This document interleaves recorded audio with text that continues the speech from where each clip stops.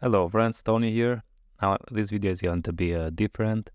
Uh, I have asked you on Twitter what you prefer, macOS, Windows or Linux and we can see the winner is uh, macOS but with higher score but also we have Windows and Linux here. So some of you working with Windows, Linux and also I have worked with Windows sometimes and also with Linux. Now, when you work with Laravel, the support for macOS is at the top also.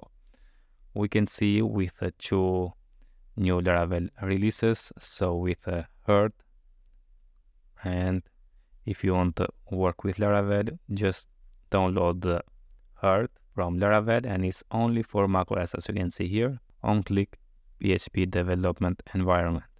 Now, if we scroll down and see if this is going to support also the Windows or Linux. We can see here, does it work on Windows or Linux? And we can see there are currently no plans to support other operating system. So no plans to work on Windows or Linux, the same application. Also, if you go to Laravel prompts, the new package, which is very nice, we can see Laravel prompts supporting and let's zoom it for you.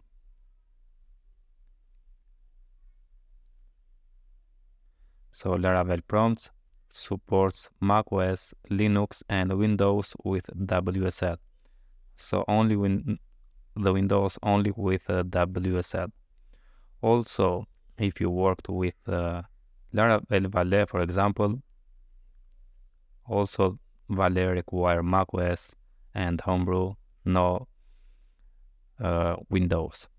So if you work with uh, Laravel most of the time or all the time, I think the better way is to get macOS. But if you use Windows, what you like, work with uh, Laragon or XAMPP, or you prefer to install the WSL. In my case, I prefer WSL and leave the comment if you want to see how to set up WSL with Laravel on Windows. Now, if you work with uh, Linux, as you can see, Linux is supported for uh, Laravel prompts is supporting Linux and also Valet is uh, not in official Laravel, but you can find uh, Laravel Valet for Linux. I just want to show if you have Mac is a breeze to work with Laravel and if you have uh, Windows, you need to do some work to install WSL and so on.